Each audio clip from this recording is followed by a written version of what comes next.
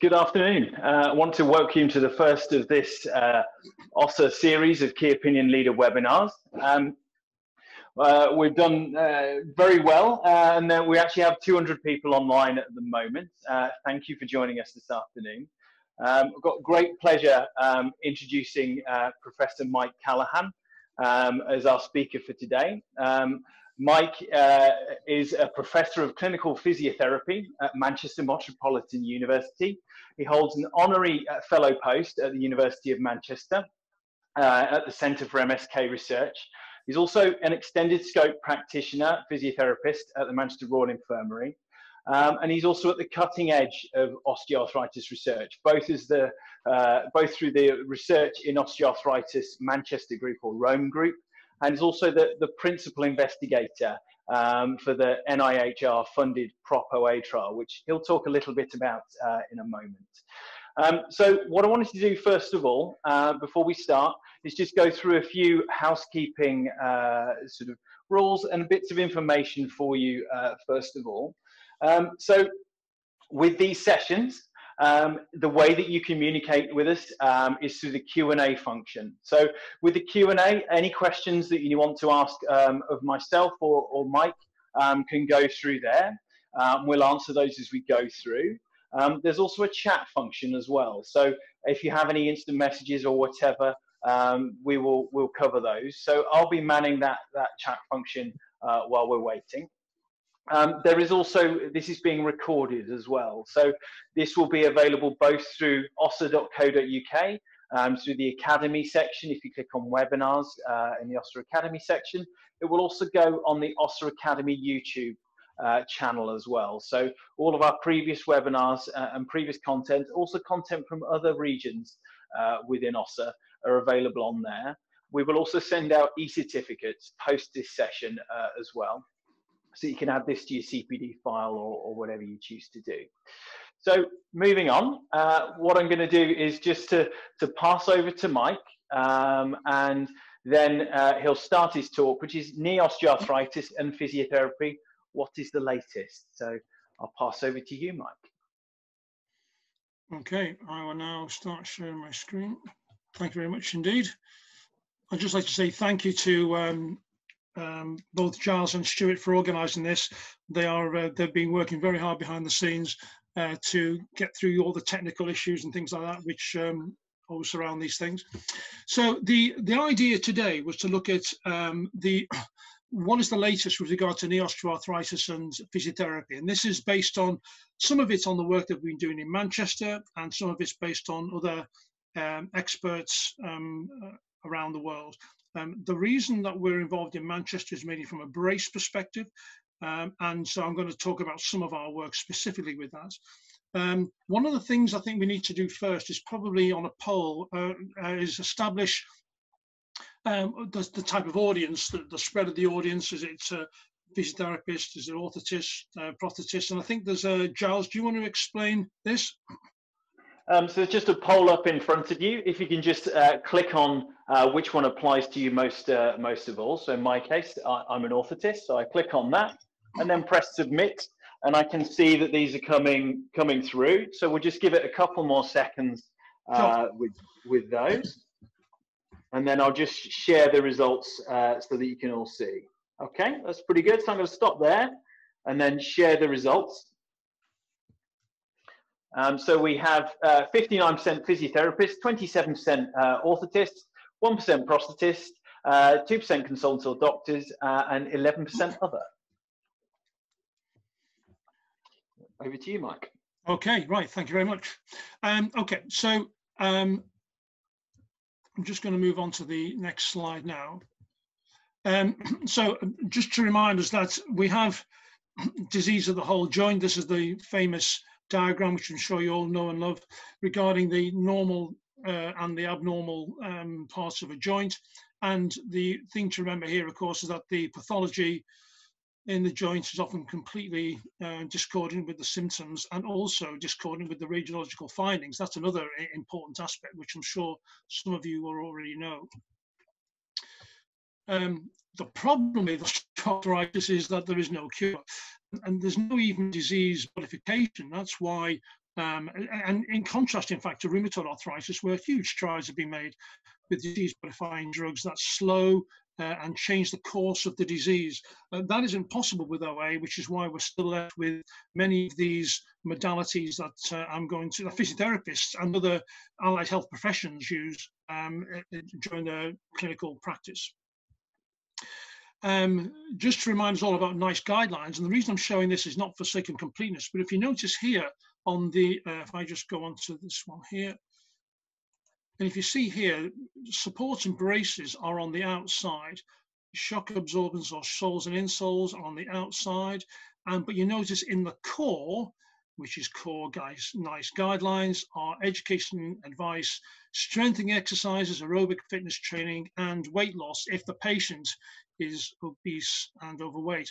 And what we're hoping to do in the next few years, of course, is to try and see if these two things on the outside are going to be moved inwards if we have more and more evidence for that, which is part of the um, the trials that we're doing in Manchester.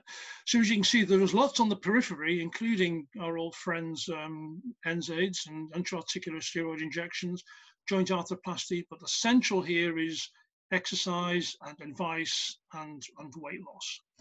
Um, now, there has been some research done, but not very much on different joints and I'm going to explain where they are in relation to, to, the hip. So there are one or two studies being done on hip OA. Um, you can see them here um, by some relatively famous researchers, including Kim Bennell for Australia.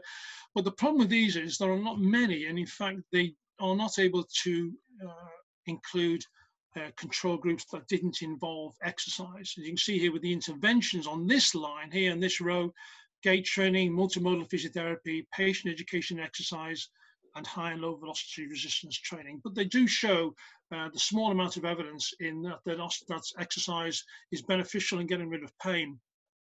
Interestingly, they don't always change the biomechanics of the gait, which is one of the objectives. So they get rid of the pain, but don't always change the biomechanics. The handoways, some of this has been driven by Krysia Dziedzic here, who's actually from Keele University and published in 2015, and she's been a bit of a leading light with regard to um, the re research into hand OA, particularly with the thumb. Uh, and as you can see here, the results of her trial showed that hand exercise and joint protection is effective in medium six-month outcomes. So joint protection was in the form of a hand splint on this particular occasion. And now we get to pretty low evidence. In fact, reviews I did, Dieuwke Schiphof from Erasmus did, and Natalie Collins from Australia in subsequent OARSI meetings was that there are no trials. There has never been a randomized trial on ankle OA uh, and involving what we're going to discuss today. And there's only ever been one randomized controlled trial with Hylton Menz from Australia, from La Trobe University in Melbourne, They're looking at orthotics in first MTPJ OA. So a pretty, uh, a pretty small return for foot and ankle OA. Which brings us to the knee, because with the knee, we have a lot of evidence. Uh, this is the main joint that's looked at, mainly because it's extremely common and it involves a lot of pain, it involves a lot of disability, and that's why it's a huge topic uh, of research in osteoarthritis. What we have to remember is that there are three compartments.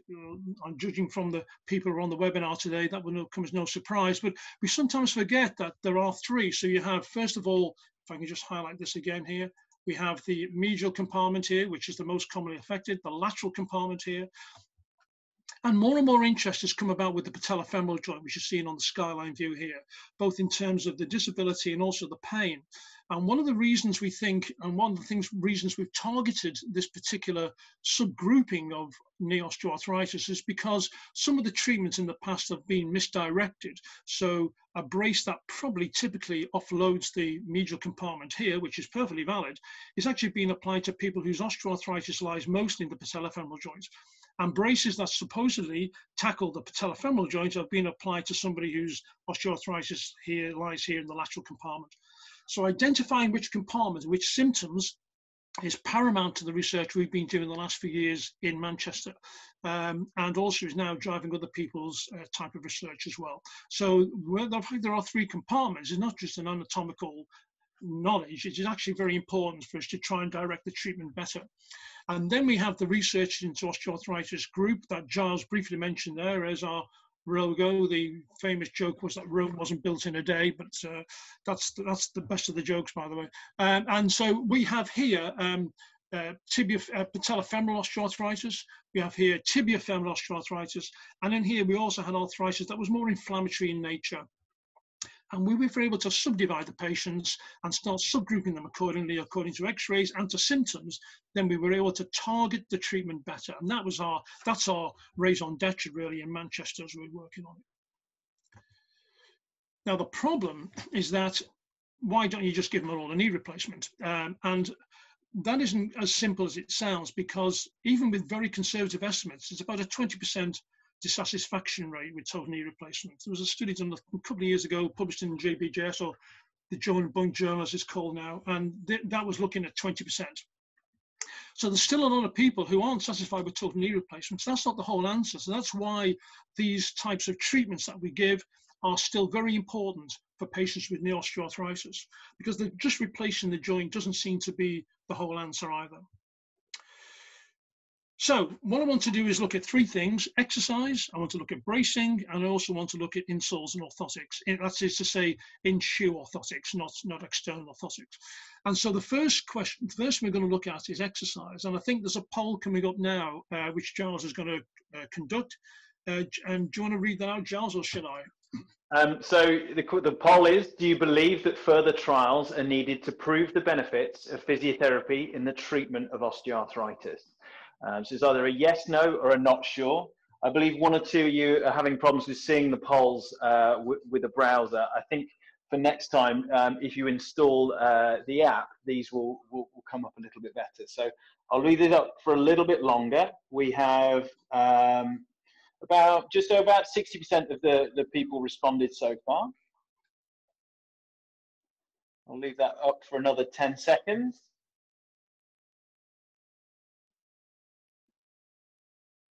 Okay, so we have 85% people uh, have answered. So I'll end that there and then share the results for, for Mike to discuss.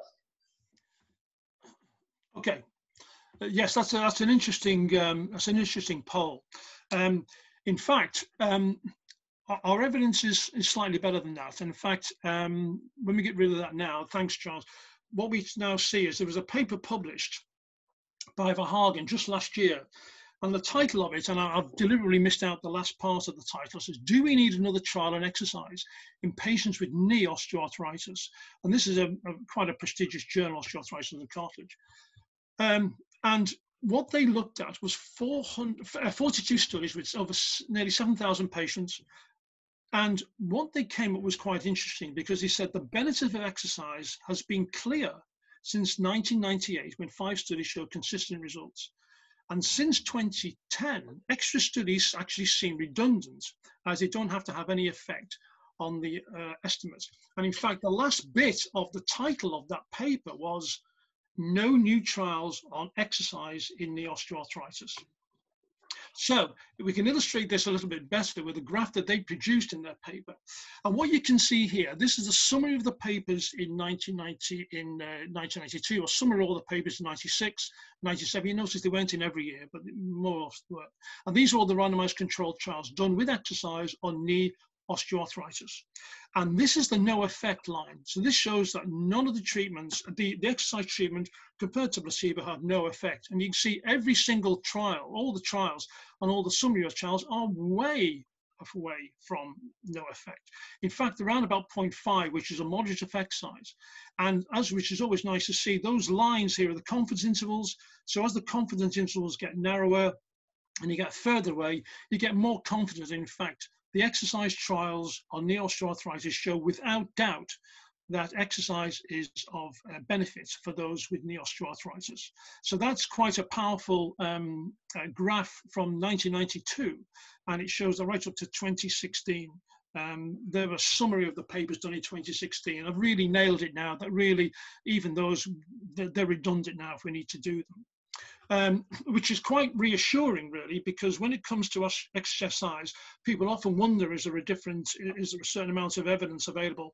And the answer quite bluntly is yes, we have enough. We have enough evidence, so much so that we don't need to do another exercise trial on knee osteoarthritis. but the problem is, of course, is what you mean by exercise. And this is a really key thing. And I'm going to just dissect that a little bit for you now. Um, if you look at the, the, the one that was just done by Verhagen, they did specify certain things. So individually supervised exercises is superior to group exercises. And of course, a lot of exercises in, in physiotherapy departments are done as group exercise. If the exercise was supervised by physiotherapists, and I would imagine other clinicians as well, but they were specifically looking at physiotherapists, is a clinically and statistically significant effect intervention in reducing pain compared to no or minimal treatment. Um, the only caveat here, of course, is how on earth do you develop a credible placebo for exercise? And that's always going to be a tough one. Um, so often not you have exercise compared to normal practice or exercise against advice or something like that. That's, that's quite a common alternative and comparable treatment. Um, but finally, no further studies in exercise are needed because additional data just isn't going to change the conclusion that exercise has a moderate effect, has a moderate effect on pain in osteoarthritis of the knee. So that's pretty good evidence, and I think we should be all fairly buoyed up and confident with that. In addition to that, I mentioned this from Carsten Juhl. Carsten Juhl, who wrote this up here in 2013, he is the god of, of randomized controlled trials and meta-analysis. He comes from Scandinavia. And um, he's divided things into aerobic exercise here, resistance exercise, all the trials done here, uh, mixed exercise, which is sometimes called multimodal, and also performance exercise, which is to do with balance and proprioception. And ultimately, you can see here that the line is coming across here to show that exercise uh, reduces pain. But he also had some recommendations. So, um, I beg your pardon. And the so from 48 trials, these are quite important. Optimal exercise programs for knee OA should have one aim and focus on improving aerobic capacity or quadriceps muscle strength or lower extremity performance. So what he's saying is don't mix and match. Do the aerobic capacity, do the quadriceps strengthening, or do the lower extremity performance exercise on separate occasions. And in patients with poor aerobic capacity and muscle strength, they should be done on different days to have the best effect. Now, the third is quite important. For best results, the program should be supervised, carried out three times a week, at least 12 sessions. Now, I just want you to remember that figure, times three a week for at least 12 sessions. That's for basically for four weeks, isn't it? And the reason for that is that when I was a junior physio many years ago, I'm going to carbon date myself now, but I think I think Betamax was still out when I was a junior physio. And uh, for three times weekly it was pretty common fare. You used to see patients three times a week.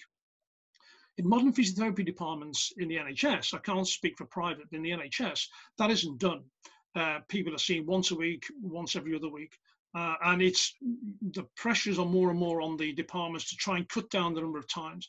As far as we know, that isn't very good advice because uh, what Carsten Juhl find out for best results, the program should be three times a week for at least four weeks. Now, the final thing is also quite interesting because often you get conflicting evidence about what type of patient is best for these exercises and what isn't, but the programs seem to have similar effects regardless of the patient characteristics, including how bad the uh, osteoarthritis was on the x-ray. Because sometimes patients get are given the false perception that there's nothing that can be done for their knee. And the results from Carsten Juhl's review show that that isn't necessarily the case. And the other thing that we're not very good at at all is the exercise dose. So exercise works, but how much we need to do is not very well known in the musculoskeletal world. And this is a very interesting paper. And in fact, if you read, read some of the text here, is that inadequate dosing can have negative consequences. And when you think of the analogy with um, uh, rheumatologists and a variety of, of, of physicians and doctors giving out drugs, they know pretty much what you should be giving and they also what isn't going to be much effective. And we do this ourselves. If paracetamol should be taken, you know, one gram four times a day, so that's two tablets. What's the point in taking half a tablet? It's, it doesn't make any sense.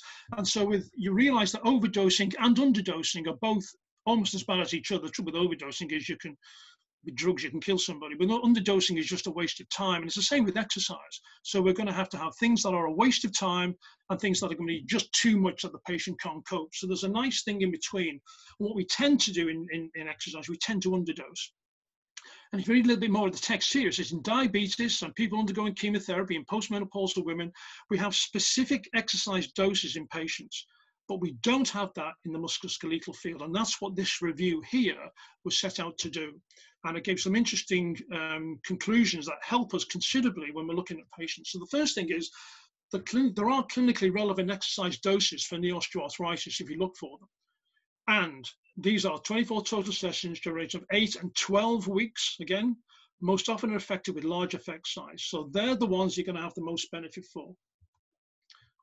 Surprise, surprise, the most common is three times a week. So now this sort of mantra is coming round about if you want the best effect, do it three times a week for about 12 weeks. But more um, damning than that is the frequency of one time a week is related to no effect. So doing it once a week, just don't bother because it has no effect. So that's a really important thing because that's starting to come more and more into clinical practice.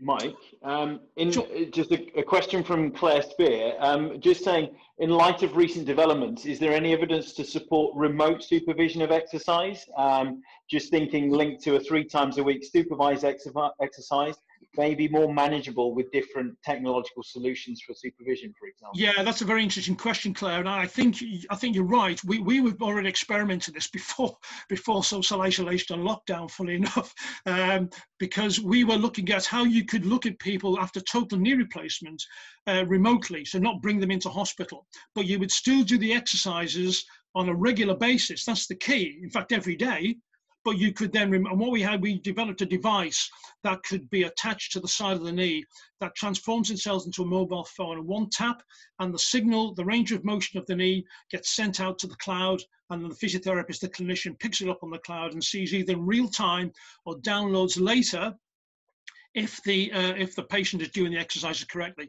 And also means that we can monitor how well they're doing and also how well they're not doing. If they're starting to regress then we need to know why. So it's a very interesting point. I think it can be done remotely. I don't think that uh, it's it's not necessarily being face to face it's knowing that you're being supervised on a daily or a three time weekly basis. There was also another comment um, from marcus bill just saying that but potentially physio-directed personal trainer sessions could be a useful uh, tool uh, yeah. in, in, that as well. Yeah, yeah, yeah. I agree, Marcus. Yeah, yeah. It's the frequency and the, the level of supervision that seem to be key in this. And was was there any guidance on the length of uh, that each session should be? That was a question from Cara Chandler. Um, there isn't been anything yet. I've got some data regarding walking as an exercise, and I'm going to show that on the next slide or two.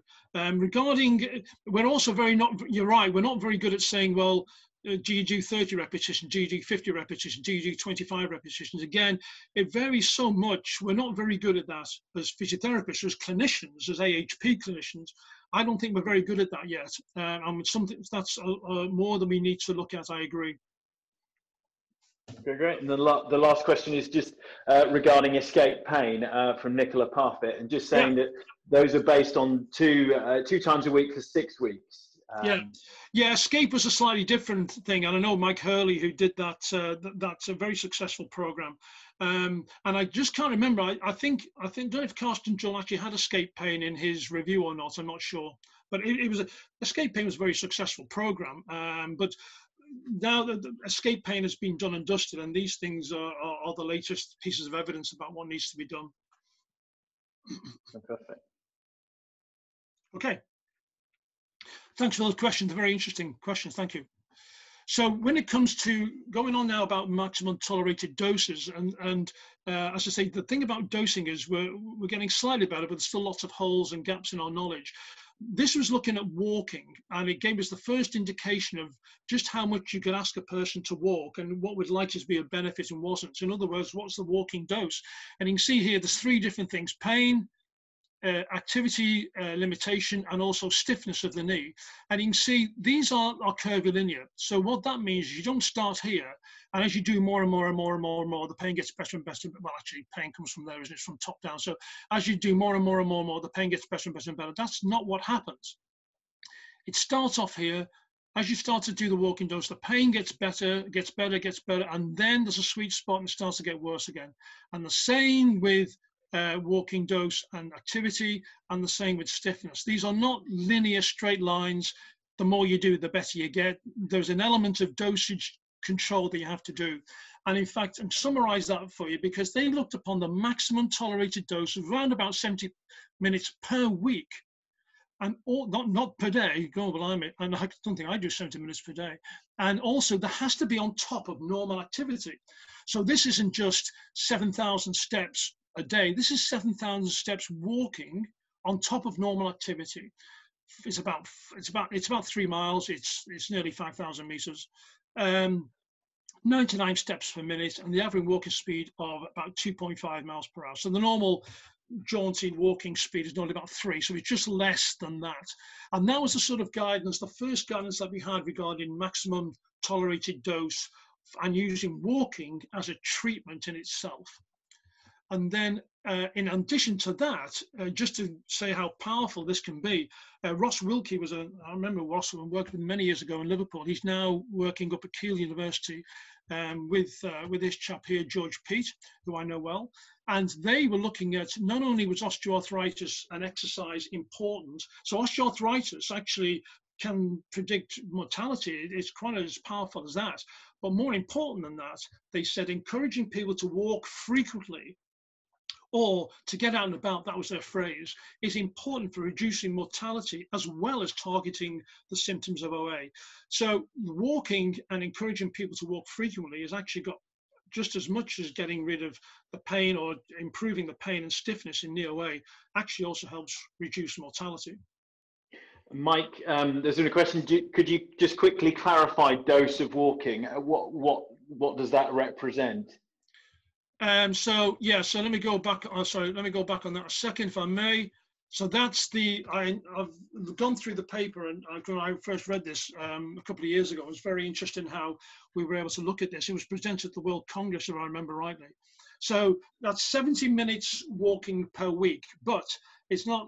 They've actually been a little bit more specific about that, and, and that broken down there exactly what that constitutes in terms of um, in terms of walking per week. Right. So that that allows a, allows you to direct uh, limits, upper limits in terms of what what can be done.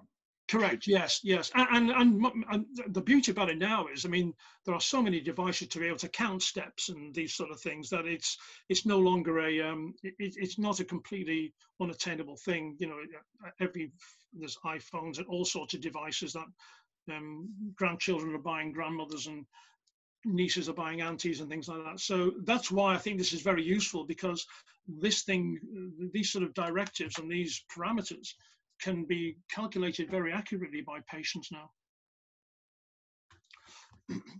Thanks for that. So finally, there was another thing that came out in the same year, actually, as the, the paper by Wallace, and this was looking at walking exercise houses at work. And as you can see here on the right-hand side, the diamond shows that favoring exercise. All these trials were coming out in total, total distance walked. The time spent walking, uh, you increase as it favors exercise as opposed to control. And also the gait velocity also improves if you're exercising. So walking is often regarded as, oh, that's not really exercise. It's actually very important modality for us to advise patients on what to do. So if the patient doesn't want to walk, what else can we do? What other forms of exercise do we have? Well, we have, it's quite good news, really. We have, you can choose lots of things. Not as much evidence behind these as walking, but Tai Chi, for example, uh, some aquatic and hydrotherapy can be done. That was a Cochrane review. There's a short-term small positive effect on knee OA. Swimming is actually being looked at to be protective to, of osteoarthritis if it's done before a certain age. Electrical stimulation, less exciting really. If you add that to stimulation, if you add that to exercise, it doesn't really work. So you better just do enough doing the exercise without the faff of the electrical stimulation. And also a recent paper in in cycling um, showed that these three things, the KOOS pain, the VAS, the six minute walk test, and the WOMAC pain, these were all clinically and statistically different compared to the uh, compared to the control group. So, and these were twice weekly supervised sessions I think they were even done on, these might have been done remotely actually, um, using exercise bikes indoors. Uh, and there again, it was for a 12 week period. So that transfers to pain with knee osteoarthritis. Um, interestingly enough, what they did there was they, they managed to exclude those who had patellofemoral osteoarthritis. That's a very interesting biomechanical concept because the patellofemoral joint does take a, a lot of whack from, that's a technical term obviously, uh, takes a lot of whack from um, cycling um, because of the patellofemoral joint reaction forces. Um, so you just have to be a wee bit careful. They only apply that to patients with tibiofemoral osteoarthritis. So there is a bit of choice for other people if they don't fancy doing walking. We have other evidence of other types of exercise and its benefit. Um, okay. The other thing that I think patients patients often ask, or even those who have injured themselves often ask, is does running cause knee OA? And this is some work done down at um, University of British Columbia down here, the logo here, with Jean-Francois Esculier, who's a French-speaking uh, Canadian physiotherapist and they came out with this informatic and um, the running might have a protective effect. Runners have a 54% lower chance of knee surgery due to osteoarthritis than none. And if you look here in the center, you see three out of 10 recreational runners will have knee OA. If you don't do anything, you're going to get more. There's more chance of getting knee OA. So it's 10 out of 100. So too little exercise likely to have it. But if you go too far, that is also going to be uh, let you have more chance of having knee osteoarthritis. So again, there is a sweet spot in the middle. All your recreational runners um, can are actually in the perfect environment, and this, of course, blows out of the window the idea that oh you should rest your knee you don't want to let it go and and people not quite explaining how they've never really done any exercise or any injury so how can they have knee OA it's we know that sedentary people can get it as well. Um, more interestingly, this has just came out this year, the odds of getting osteoarthritis are twice as likely if you play sport when you're injured compared to those who did not. So this is a very important caveat just to ask the patients if they're particularly in the, the late 50s and so on, and they're still quite active, playing sport when you're injured is not a great idea. And that's probably where a little bit of the confusion comes with people saying, well, yeah, I'm, yeah, I didn't really get injured, or I've only got injured once, or I'm not so sure where my knee pains come from. It's this that seems to be driving it as well. This is an informatic produced by Jackie Whittaker and Ewa Roos, uh, and they were looking at the risk profile for sports-related after injury, and you can see it's lots of colours and things, a bit confusing. The two things here in red are looked upon as high risk uh, and the trouble with the ones in red is they are non-modifiable factors. So joint, if you've got an altered joint uh, structure, then that's not modifiable. And if you've had an injury, you that's it. You, your cards are marked. So these things here are actually modifiable factors, particularly things like poor diet, uh, obesity and adiposity, uh, fear of movement. These are modifiable factors to uh, decrease the risk of sport-related um, knee OA. Okay, so that's exercise. So there's a lot of evidence for exercise, and that is um, extremely, um, it, it, it, just fills me a lot more confidence and extremely reassuring for clinicians that exercise, if we do it correctly and we know something about the exercise dose and the type of exercise you can do, the patients will benefit from it and having the confidence to be able to tell them that. So the one piece of advice that used to be given years ago was just, oh, don't do that, you know, wrap yourself in cotton wool. We know that that's not good advice at all. Which brings us now to the second thing, which is braces, or which are braces. Um, uh, we can come to the, uh, do you want to come to that in a second, uh, Giles? Yep. Yep, thank you. Um, so we'll, we'll just talk. You see, it's okay. You, you, we're nearly there. Actually, it might be the next slide. I think. So as you can see, the, the trouble is there are a myriad of braces. This is the Össur brace on the right-hand side here. Um, there's a lot of them about, and the question is, um, how beneficial are they for knee osteoarthritis? And that brings into some of the research we've been doing directly and primarily in Manchester. Um, why would braces be helpful? Well, there's two main reasons. One on the left is the biomechanical reason. So this is the uh, ground reaction force of the knee adduction momentum. That should be actually going through the middle part of the medial compartment of the knee joint there. And you can see the distance there is quite large. If you reduce that and you get less knee valgus, that's going to go exactly where it should be and therefore the strain on the knee will be less. And the idea of bracing is that some, you can able to reduce that to some extent uh, and therefore reduce the strain uh, on the knee. The second thing is proprioception. and all braces have that capacity. I mean, even tubic has that capacity, but all braces um, of any sort have that capacity to be able to improve proprioception. So this was a trial uh, that we did a few years ago now, looking specifically at patellofemoral osteoarthritis, which was becoming more and more obvious to us that it was an important source of patients' pain and was actually clouding our judgment regarding which type of brace to give people. And often patients were given the wrong brace. And ultimately, a lot of trials were being done with not separating patients and screening them accordingly so that they got the right brace. So we did um, a, a, random allocation to either immediate brace or delayed brace. That was part of the trial uh, methodology and ultimately all patients received this brace, which, which was at the time was made by Össur, and it was this was made of lycra, so this was ultra thin, uh, much thinner than neoprene, and therefore a lot of acceptability from the patient's perspective. This little C cuff here could be taken on and off. Um, it was not an essential part of the trial, but it was there nevertheless. 126, this is the largest ever trial done on patellofemoral OA. And as you can see the demographics there, the mean age is 55, which is slightly younger than patients with medial compartment OA.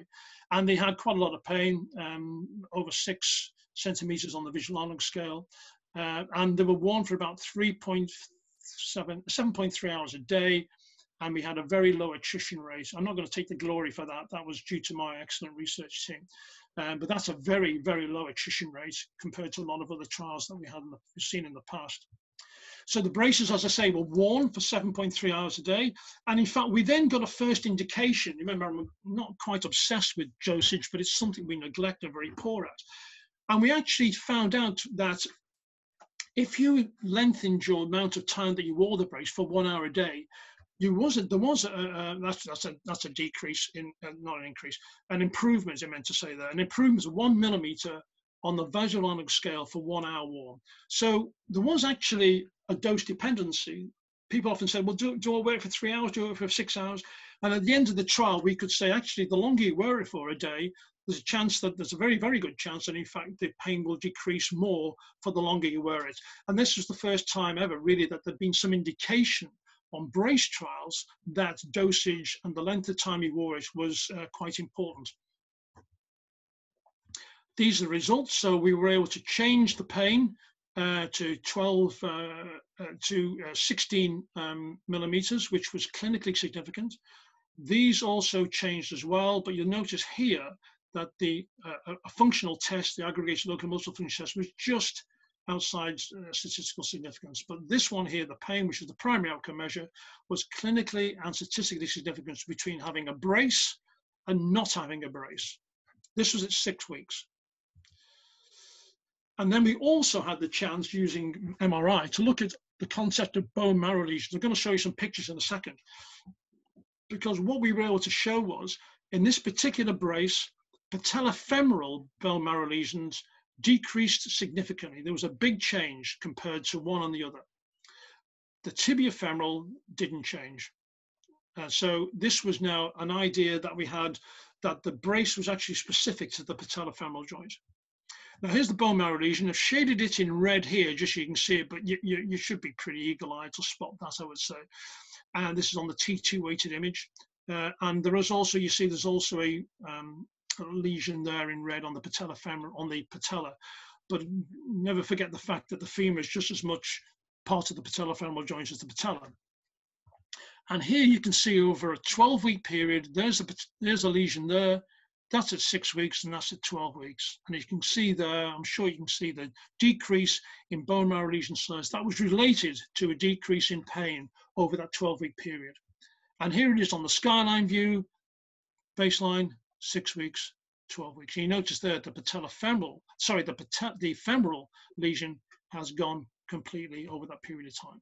So this was uh, one of the ideas that um, we had about bone marrow lesions contributing to pain, specifically in the patellofemoral joint, and that's what we were able to prove with this particular brace and this particular condition. And interestingly, it had no effect on the any lesions in the tibiofemoral joint. So, patellofemoral brace significantly improves pain and symptoms in painful patellofemoral joint OA. And then we also found, in actual fact, that patellofemoral joint was specific symptom assessments. So we were able to use a thing called the nominated activity. So we actually asked patients, what's the thing that gives you the worst pain? Is it going upstairs, going downstairs? Is it squatting? Is it uh, walking? Is it running? What is it? And then patients were able to report back to us specific to their activity that was bothering them the most, rather than just saying pain in the last week. So we think that using a patient-specific assessment was also quite important for us. Um, Mike, just a, a, couple of questions with regard to those couple yeah. of slides. Um, yeah. So one from MD Shafi. Um, if the bone marrow edema noted on the tibia uh, if there's bone marrow edema noted on the tibia, which is common in OA, would a brace help? Uh, well, it's not been done yet on um, tibiofemoral OA. Um, uh, that's the that's the short answer. Um, I think somebody was trying to. I knew there was a trial in the pipeline. On, on, the new trial, which I'll describe at the end, we aren't doing MRI because it's it's not that type of trial, and we haven't. The, the funders won't allow us to look at the mechanism behind the pain. They just want to know if it gets less painful or not. Um, but I believe there was one study that's been the protocol for it, but I haven't seen anything done on the tibiofemoral joint as such. Um, there's a couple of questions, one from David Barton and Sunil Jain. Um, just saying, effectively, a very similar question, but wouldn't naturally the, the bone marrow edema improve? Was there a control group in that trial? Yes, there was a control group, and that was that was different from the control group. Absolutely, yeah. So that was brace versus no brace in the same condition. Uh, but it's an interesting point you make because we know that bone marrow lesions do wax and wane. So over a period of time, um, they don't increase steadily, steadily, steadily like an X-ray would, because an X-ray will always get worse over a period of time. It will never get better. It could stay the same, but it will never get better. But what noticed previous researchers, particularly in Boston Massachusetts and uh, in Sydney, they've noticed that the bone marrow lesions wax and wane. Now, that might explain why osteoarthritis symptoms wax and wane, and yet the X-ray findings are either the same or worse. So the X-rays never get better, and yet the bone marrow lesions do get better what we were trying to prove over a short period of time was that we could manipulate that. You don't have to wait for that to happen. Can we manipulate that and change it for the better? That was the premise of the trial. Yeah. Okay. Thank you. Thank you. Thank, that's an interesting question. So the, the, the next question we need to say, well, how does that happen with a brace? How can a brace change bone marrow lesions? As a sort of follow on to what we've just been discussing. And this was a paper we produced um, a year or so later, uh, looking at the knee brace because we thought that it might alter the patella position. And we used weight-bearing MRI. So we're looking in Manchester have a weight-bearing MRI. Um, it's 0.2 Tesla, but it's, it's still pretty good. Um, and we this is it here. So that's lying and standing. And then what we were able to do then was look at these variety of measures, which are pretty standard X-ray measures. Um, people have been looking at this for many years, including the bottom one, patellofemoral contact area and they are they are here. And this one on the top right here, this is the contact area. And we were able to show that in fact the brace does alter, improve, and increase the contact area. And the reason that's important is that, and I don't think I can demonstrate it on here, but it, if you have your thumb resting on a desk for a couple of minutes, and the, the thumb can become quite painful. If you have your hand and the palm resting on the desk, you've spread the you've spread out the contact area, and so it there's more, there's less stress being taken on a focal. And we think this is one of the reasons why bracing, particularly patellofemoral bracing, might be helping and might be decreasing bone marrow lesions because bone marrow lesions are a response to mechanical stress, both in the acute after an ACL injury, but also in the in the chronic after chronic stress, which is what we think the patellofemoral joint was doing. So this is one of the reasons why we went on to investigate to see if this was the case. And using this particular measure, we found that it was. With regards to investigations into OA, um, Nathan yep. Korn um, is just asking, what is the best uh, investigation for OA? Is, is it MRI?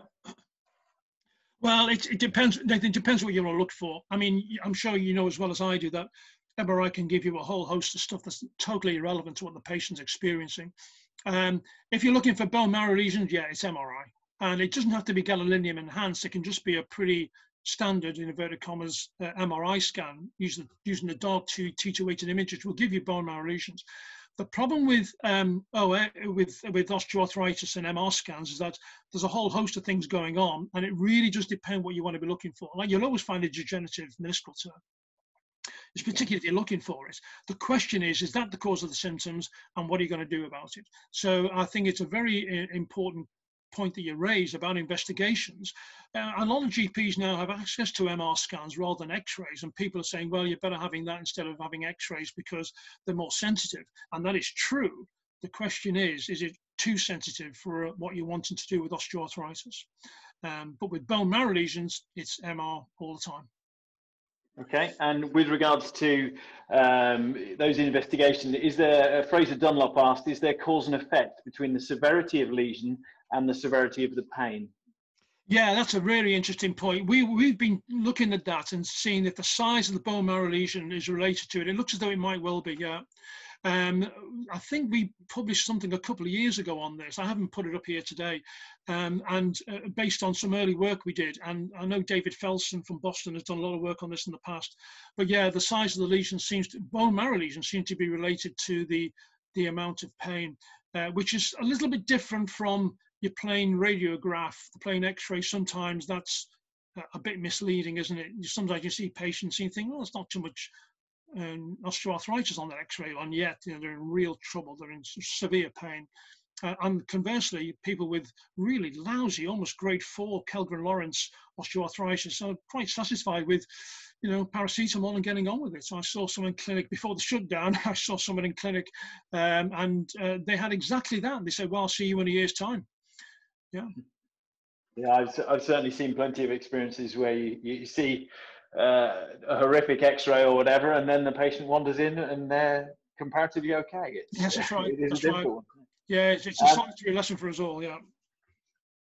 Um, and, and, Paul um, Hegenbath uh, is asking, does the evidence base for bracing fit into the ESSKA guidelines for management of meniscal pathology, sort of pre-OA? Yeah, I'm not sure, to be honest with you. Um, uh, uh, bracing for meniscal pathology, um, I, I, couldn't, I couldn't answer that to be honest. I, am not sure. I'm not very au fait with the with with the, the effect of bracing on on meniscal pathology, it, unless it degenerates. I mean, I don't. Does it mean? I'm not sure if it means acute or or chronic meniscal pathology there. Okay, we'll, perhaps, we'll perhaps come back to that one. come um, back to uh, that, yeah. Yeah, and uh, are there any studies looking at exercise effects on bone marrow lesions at all? And that's from Debbie Simpson. No, that's a good point, actually. We have a trial at the moment looking at depot injections of a drug that was used for osteoporosis rather than exercise. Um, and so the, the, the depot, uh, so the idea is that bone marrow lesions may be related to the same pathological process as osteoporosis uh, was one of the theories behind it. And so patients were getting a depot of uh, a drug called denosumab, uh, that was that's being done in Manchester right now. Well, it was until we got shut down. But um, so they were injecting one injection, I think one injection a month. That was all it was um, of denosumab to see if that would have an effect on the bone marrow lesions. That's what we're investigating right now. But nothing I've ever seen on exercise. No. Okay. Thank you. Thank you. Thanks for your questions. Um, okay, so the next one is now, is I think this is our third poll. Um, and I just wanted to ask this question. This is, uh, I make no uh, bones saying this is Össur's latest patellofemoral brace. and, uh, uh, and this is, do you believe, and this is a very important clinical question, do you believe that bracing would inhibit muscle function? Uh, and there's a, there's a very good reason for asking this. So.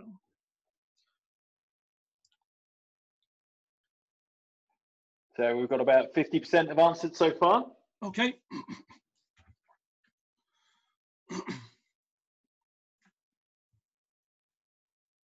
I'll just leave it going for another 10 seconds and then sure. I'll stop. Nearly 80%. Oh, wow.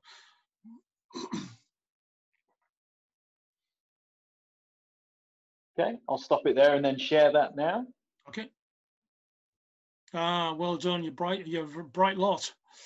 Um, one of the reasons that we had trouble initially recruiting and um, patients is that and uh, I, this has been going on since, as I say, since I was qualified in black and white TV, is that patients are not given braces, and this is not only to the knee, it's also to the ankle mainly, and, and other joints, but mainly the knee and the ankle, is that someone somewhere, or they read somewhere, and oh, years ago you didn't, they didn't have the internet, so it wasn't as bad, but somebody read somewhere that bracing well, that'll make your muscles weak. It'll take the place of the muscles. The muscles won't, won't be doing their job properly. And it's a common mantra you hear quite a lot. Um, and one of the reasons we were uh, having difficulty recruiting some was because the doctors were saying a variety of disciplines, it could be GP, it could be orthopedics, it could be rheumatology, were, were advising patients, well, I don't think you should be doing that because, you know, it might make your muscles weak. And so we wanted to just see this. And I looked into it and I, there wasn't a single piece of evidence, single piece of evidence um, to confirm or deny this. So we did an investigation on this.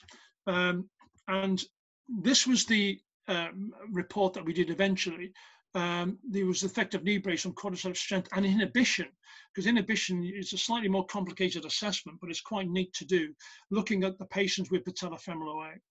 Um, and in fact, um, our results match your poll because, in fact, we found that braces didn't make the muscles weak. So let me explain this graph. So on here, we have the maximum voluntary contraction at week zero when they first started wearing the brace. And this is at week 12 when they finished wearing the brace. And you can see not only did the braces not make the muscles weak, it actually slightly improved them. This one here is inhibition. So now as VMC goes up, inhibition logically and physiologically should come down. So once again, zero, six weeks and 12 weeks. So they mirror each other perfectly. And uh, ultimately we were able to prove, and this is the first time evidence ever that braces don't make your muscles weak. In fact, they make them slightly stronger. And also, they there's less inhibition in the muscles, so you're recruiting more motor units. Now, the reason, now, so the question now is why is that? Okay, and it, it's a relatively simple answer uh, that we eventually worked out from asking patients. And they said, well, I'm, you know, I'm making, um, my knee feels more confident, I feel more secure, and there's an element of proprioception about that. It feels more stable, and I feel as though I can use it more. And what was happening was, because the brace was having all those effects, it was making patients use their knee more. And as they use the knee more, then uh, instead of favoring the other side, then they start, the muscle starts to function more normally. And after 12 weeks, you find that in fact, they've started to improve their muscle uh, force uh, um, well, actually, that's muscle torque, is Newton meters. And then also their inhibition has gone down.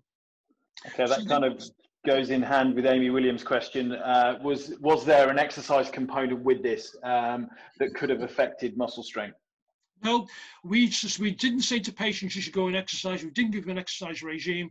We just said to them go and do your normal activity, whatever you do, and you need to wear the brace. So we were quite explicit. This wasn't an exercise trial; it was a brace trial, and we had periods uh, with the brace on and the brace off. So we had a control group uh, at either time point. Yeah. so that's quite uh, that was quite useful evidence because then it gave us the confidence then to be able to say to patients, right, these won't make your muscles weak. This is actually a good chance you might get slightly stronger, and that's been the advice I've given in clinical practice ever since. And it probably also gets applied to things like tubigrip, elastic bandage, anything like that um, because even that gets accused sometimes of making patients' muscles weak, and it just it just doesn't do that. We have the evidence for that. So that was quite uh, uh, quite useful in terms of uh, translated straight back into clinical practice. And the other thing we wanted to know from the brace point of view was what happens to the bone marrow lesions, the pain, if you take the brace away? Now, you might think this is a bit cruel, but the way in which the, um, the, the design of that particular trial was done was that we had a period of time when people at the end didn't, they knew they were going to do this. They didn't wear the brace. Uh, and they were people who happened to do well with the brace. So we knew they were getting better. The pain was going, the bone marrow lesions were getting down, their inhibition was getting better. And then we took the brace off them for six weeks to see what would happen. Um, which sounds awful, but it's all part of the deal. So we found that this happened. So I'll just talk you through this because it's a bit, it looks a bit weird, but it's it's quite easy to see. So the pain on the nominative activity with the VAS is in red. So at baseline, they were up here. Remember, I said they were nearly seven, they were 6.6 or something like that as a, as a mean. The first week, they wear the brace, they come down, and then they come down to 12 weeks. Then the brace is removed, and look what's happened to the pain. It goes up again. But that's a subjective measure. Now, if you look at the two objective measures, uh, which are with the one objective measure, sorry, let's go with the KOOS pain. The KOOS pain follows the same thing, but it's, it mirrors the VAS because with KOOS pain, this sort of funny little looking line here, that is actually also getting better with KOOS pain, ironically, or it goes it goes up, it's, it's getting better, not coming down. And when the brace is removed, it then dips down, which means that's getting worse. So VAS gets worse by going up, and the KOOS pain gets worse by going down. Now, you, you might well think, just think, well, that's going to happen, is it, when you remove the brace? But look what's happening to the bone marrow lesion. The bone marrow lesions are continuing to go down. They're actually continue to improve after the brace has been removed. Now, this is a classic example of the nocebo effect. So the patient knows that something's going to happen, and so they automatically think, well, I'm going to get worse. But the subjective measure here was the bone marrow lesions. They continued to improve. So this was what happens when you take a brace off somebody. They might actually get worse, but the subjective, that subjectively will get worse. Objectively, it continues to improve. And nobody really ever found that before because mm, rather good question. Why would you take a successful treatment of somebody? But we had the wherewithal within the design of the study to be able to do that. Okay, so that's braces. Any more questions on braces, Giles? Do before we move on to insoles finally? Um, Sarah Wilson asked, how long did the patients wear the brace uh, for in a day? The average length of time was 7.3 hours. Okay. Um, um, is there, Matthew Long's asked, what is the role of bracing in, in encouraging unhelpful pain behavior? Has this been looked at?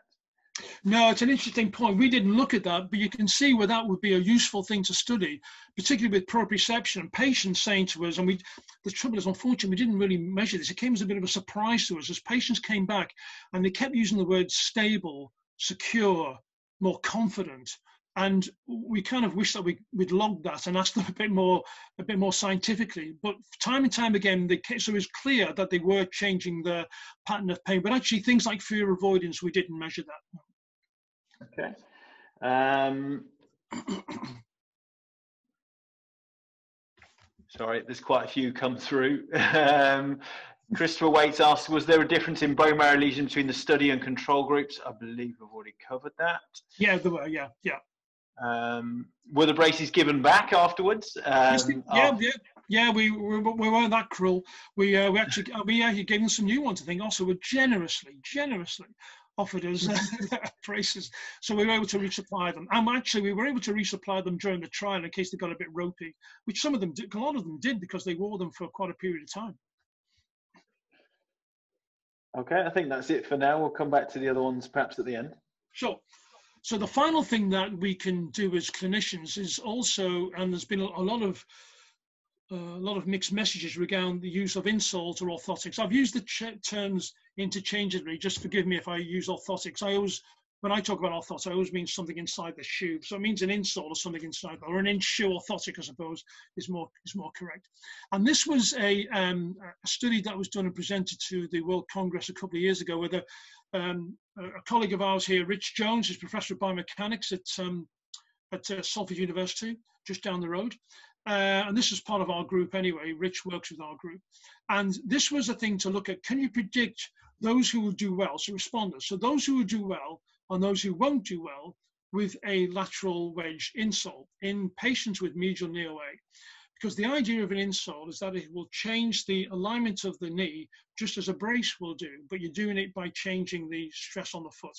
Now, this little graphic here is very interesting, and I'm going to blow that up now because it shows that if you give every all these patients had medial knee OA, okay, and the strain on the medial knee OA, to put it bluntly, is measured and biomechanics get very twitchy, but we can say that it's, it's, it's covered by the external knee adduction moment because that tends to get worse the more knee valgus gets worse, which is mean you become more bow-legged essentially. And we wanted to see what happened to that EKAM, uh, so the knee valgus, with lateral wedge insole, as reported from a change as opposed to a control condition. So you have a responders, so they do very well. Their, their external knee adduction moment changes for the better dramatically. But look at here, there's a whole load of people who don't. They, we class them as non-responders, and yet they had the same knee condition. So this was getting very baffling to us as there were responders and there were non-responders biomechanically to the wedge insole.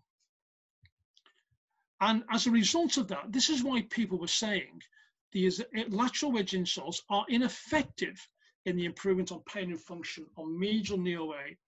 So there was lots of mixed messages coming about. A thing that biomechanically should work wasn't working biomechanically, and what's more, was not having an effect on pain and function. So there was something not quite right about this. And yet, biomechanically, the idea of putting a lateral wedge to offload the medial compartment made perfect biomechanical sense.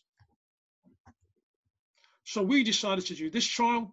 Uh, this was the efficacy of a lateral wedge insole for painful, I beg your pardon, painful knee osteoarthritis after pre-screening. So this is where the difference comes with this trial, because you had to have somebody uh, extremely charismatic, very good looking, extremely expert to be able to do the screening. Unfortunately, we couldn't get that person, so I had to do it. And that's me, they're examining somebody somewhere. And what I was looking for here is to make sure that these patients had tibiofemoral pain, tibiofemoral OA, but nothing in the patellofemoral joint. And the second thing I had to make sure is that their foot hadn't already pronated. I'm using the word pronate in the general terms now. I'm sure there's one or two uh, podiatrists who might sort of, oh, I'm not so sure about that, but foot pronation. In other words, the uh, the the medial side of the of the arch was moving down towards the ground. Foot pronation, as you would call it. And the reason for screening for these two was because we wanted to make sure that the tibiofemoral joint was being affected and it wasn't being affected by the patellofemoral joint because if you give a lateral wedge to somebody with patellofemoral OA, you actually put increased strain on the patellofemoral joint and increase the symptoms. So we want to have patients who didn't have any clinical element or radiographic elements of patellofemoral joint OA. That's the whole point of trying to do the screening. And also that they didn't already have an arch that was closest, a medial arch that was closest to the ground, because that's what the lateral wedge insole does anyway. So you're going to make this foot position worse, and in some cases make it unwearable. And there were several patients that we had to screen out because their foot position was already, it seemed to me that the foot had already adopted a lateral wedge position naturally by collapsing the medial arch. So that's what the idea of this particular trial was. And the idea is to change the ground reaction force. This again, by this should then come closer to that by putting something on the lateral side of the, of the foot. Then that would decrease the distance between here and here. And this was the Salford insole is actually a registered thing. It's it's available commercially. It was in Boots for some time, and it developed at Salford University in the the, the podiatry school there. So this is the intervention. You have to work for at least four hours a day and it was a five degree lateral wedge. You can kind of just see it there a wee bit there how. This is the medial arch. And the beauty about this was they maintained a little bit of medial arch support because in previous iterations of this insole, that thing had just tipped over and there was no support for the medial side whatsoever. And they suddenly realized that if you're going to tip it over from this side, you do need some support here. And this is what makes the Salford insole different from other lateral wedges. And the results, well, yeah, it did okay. The pain came down significantly, uh, both in the last week and also the nominated activity significantly. Now, the reason this was a little bit, and this is compared to a neutral insole, I, I hasten to tell, we put a neutral insole in that was just flat, and compared to that, were the significant differences between the neutral insole that acted as placebo or sham and the lateral wedge itself. So the difference here between 4.9 and 5.9 is 1 or 10 millimeters. The problem is that isn't clinically significant. So it's it, although it's statistically significant, it wasn't giving people a clinically significant change in pain, although we was moving towards that. Okay, so that was the evidence that we had, I think, published last year on the infall of the effect of lateral wedges on medial knee OA. And what you can see here is it was a crossover trial. So you start here with the lateral wedge insole in blue, the pain comes down. This is pain on the nominated activity. Remember that new uh, assessment that we ask patients to do. It comes down here. They then have a washout period, which is the dotted line. So crossover trials are always stymied by the fact you need at least a number of weeks again of a washout. As you have the washout with no treatment, the pain goes up. They then switch over to the next one, which is the neutral insole in yellow, and the pain continues to go up. Now, if you look here, the patients who started with the uh, neutral wedge, they do have some decrease in pain. There's a powerful placebo effect there.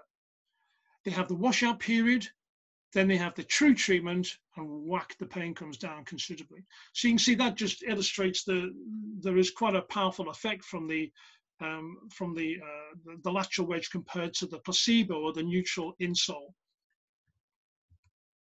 So the conclusions from this trial were that there's first time evidence the lateral wedge insoles are effective in reducing pain immediately OA. And I say first time evidence because I think there have been six trials done before, all of which had been null. In other words, there was no difference from using the uh, lateral wedge insole compared to the placebo. Patients pre-screened select these were likely to respond. So pre-screening examination of the patient properly was actually quite key. So in other words, you've got knee OA where this insole is no longer an, a, a, valid instruction, just as you've got knee OA where this brace is also no longer a valid instruction.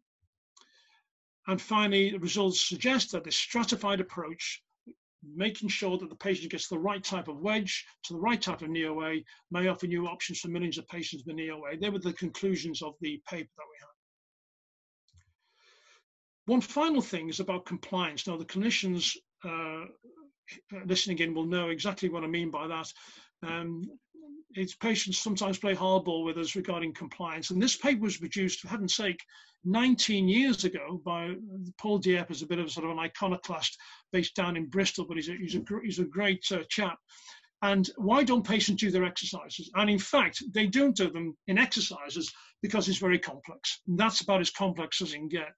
Breaking it down here, the initial compliance is high because the patients have a loyalty to a physiotherapist. Um, they respect their opinion, they respect what they're saying, and so initially they do it. But this is the problem, isn't it? The longer term compliance, as you can see here, if the perception, of the symptom severities, the effectiveness of the treatment, it isn't doing the treatment, it isn't doing what it says doing, then they're not going to be happy. Fitting treatment into daily life is difficult. Whether or not they have any comorbidities, they might be um, having causing problems with the exercise. For instance, you've got exercise to the OA knee and you've got OA hips as well, that might not be great. And also depends on the support they get from the physiotherapist. So these, and we're talking about exercise, we're talking about bracing and orthotics, but ultimately we can give the best treatment we can. If they're not compliant and it's our fault, then we're, we're in trouble. We're, we're just not treating them properly at all. So the conclusion, what is the latest? That's what the topic has been of the webinar today. First thing with exercise, decrease immediate pain in the OA. We don't need any new trials. There is a variable response. We have now have some guidance on the exercise, the type of exercise and the dosage. The type of exercise isn't vital. There's a variety we can use, but running isn't evil. It's actually quite beneficial, but running when you're injured is, we need to watch that very carefully. Patellofemoral braces decrease pain with patellofemoral OA, and they shrink the BMLs in the patellofemoral joint only, and that's related to the decrease in pain.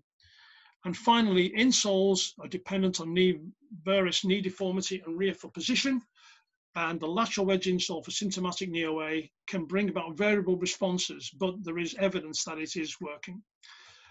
Uh, they're the three things. And then I think finally, uh, there's what's next in coming up. And this is the PROP OA trial, which again has just been stopped by the uh, by the government because all clinical trials have stopped in universities and hospitals at the moment. And once again, the idea with this is to match the brace type to the compartment involved.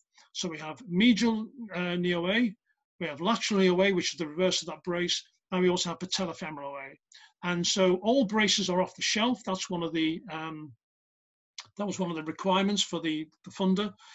We have exercise and advice versus exercise, advice, and brace. So the ultimate research question is: we know exercise works and exercise device works very well. It's part of NICE core guidelines. What happens if you give them a brace? Will that work any better? Because if it does, then it's worth the effort and the money. If it doesn't, then it's not worth the effort and the money. It's as simple as that. And just one added thing to do with exercise and compliance and brace wearing. Some of these braces will have an adherence monitor embedded within them, so we'll know what the brace usage was. I think uh, I am now uh, finished. That's my last slide. Um, I think I'm handing over to Giles now. Is that correct? Yep. So we're gonna just stop. If you stop sharing your screen, Mike. Perfect. You do that now. So I'm just going to go through uh, a few of the questions. Thank you very much, Mike, uh, for your talk. We have quite a few. Um, I haven't been able to answer answer all of them. Um, there was uh, one question uh, from Emma Robertson um, just saying, has there been a similar study done uh, for perhaps medial wedging for lateral compartment? No, no, that's an interesting point. No, there hasn't been.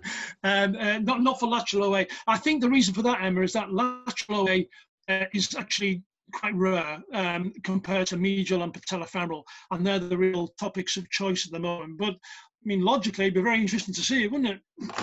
Yeah. And is the uh, MD Shafi asked, uh, do insoles work for any degree of medial compartment OA, or is there sort of uh, is it mild to moderate type? Right. Example? Yeah, that's an interesting point. Um, I, we've I can't remember, and that's a bit remiss of me, whether or not people are we excluded. Yes, okay, hangers come back to me now. We excluded those with severe OA. So in the Kellgren Lawrence zero to four, you know, zero is no OA, one is doubtful, two, three, and four, you've got it in a degree of severity, and four is kind of almost bone on bone with total loss of joint space. And we excluded four. Zero means you ain't got it, so we didn't have them. One means it's doubtful, so we didn't have them. So we had two and three. So these were for mild and moderate OA changes only. And there've been a few questions about uh, patella strapping uh, and its effect for, for patellofemoral OA. What what are your, your thoughts on uh, patellofemoral uh, strapping? Yeah, I was wondering when the patellofemoral question would come in. Um, um, it's we um, there's there's some tentative evidence, and it's from a paper that was published, I think, in 1991 um, in the BMJ, for heaven's sake, um, by a girl called Janet Cushnaghan. Again, Paul Dieppe, it was from Bristol. So the chap who is the iconoclast from Bristol was involved in this. And it was the first evidence that we had that there was some sort of taping would work. And they did it specifically on patellofemoral OA. Uh, but since then, there's been nothing. And believe me, we've been trying to do a review of this. And we found that the review wasn't worth doing because there were so few trials. Um, it makes sense. I mean, patellofemoral patellofemoral pain, of course, is quite well researched on this. And I think if you're looking at symptoms, then I wouldn't particularly hesitate to use patella taping. Um, and it doesn't particularly need to be any type of tape either. So everyone's going to rush around and buy kinesio taping and rock tape, but you can you can get away with any type of taping. I think logically it makes good sense, although from a from a clinical trials perspective, there has none been done that I know of. I think there's one. I saw a protocol recently. I think it's been done in Australia, up um, at Queensland, Okay. Um, and uh, there have been a number of questions about whether um, you can use a, a, brace with lateral wedging as well. What are, what are your thoughts? Have there been any studies on? Oh, that's on yeah, a, a belt and braces job. Yeah, yeah. Um, I, I, I, I have no idea. I mean, it's it's an interesting thought. I mean, but if you think yeah, I'm not too sure you're going to get more bang for your buck on that one. Um, I'm not too sure, to be honest with you. I mean, I suppose there's nothing to stop you from doing it. It's it's not as if you're giving people two different types of tablets that are going to clash with each other and you're going to you know kill the patient or poison them. It's um, you can always take one out i guess if it's getting too painful. Okay um, so a couple of other uh, sort of questions. Feel free to put put some more in. What i just wanted to say um, is obviously thanks to mike for for doing this session. We'll come back to a couple of questions in a minute. Um, it is important to say that as Össur, uh, we are still fully operational. We're still doing next day shipping. Um, we're aware that a lot of uh, clinicians are um, uh, in hospitals and seeing still seeing trauma patients, for example. Um, so a lot of these are still available. We have these webinars every week um, on a Wednesday. Um, so for the next three or four weeks, we have a number of speakers, um, including next week uh, where we have uh, Mr. Ian McDermott, uh, who is a uh, consultant surgeon um, at uh, the uh, the LSO London Sports Orthopaedic uh, in London. So he'll be presenting uh, for us next week at the same time. Um, I'm just going to pop back if you could um, do any further questions uh, that you have on there, and we'll try and answer those as many as we can. Um, um I think um, there was a question uh, going back to you, Mike, um, with regards to adding a lateral wedge. Was there any sort of effects on the medial uh, side of the ankle joint, um, for no, example? No. Yeah, no, it's, it's, that's an interesting point. I think we chose five degree because it was a relatively mild, um, a relatively mild wedge, and I think there is a good point about that. That, of course, the first thing we got rid of the the patients who were really quite badly, um, the, their foot position was really quite bad and would, would definitely have not have benefited from it. But ultimately, I can't remember a single person coming back and saying my ankle's getting worse. And it was one of the things that we were watching out for because uh, it would be classed as an adverse event in a, in a clinical trial. So we were very cautious about that. But I can honestly say I can't remember a single patient coming back and saying that. But yeah, and I think if you use greater wedges, maybe towards 10 or 11, then, which may or may not be possible, then I think that's when you would experience that. Okay. And going back to, to very much at the start of the session, uh, you mentioned about 70 minutes of exercise per week. Um, was there any guidance around pain with it? Um, and can that be broken up into individual sessions or, you know, yeah. what, what, what was the guidance yeah, on that? Yeah, yes, it could be broken up into individual sessions and it may well be that, um, you know, you're going to cover the 70 minutes. Some people might do it every day. Some people might do it because it's, it's 10 minutes a day, isn't it, essentially?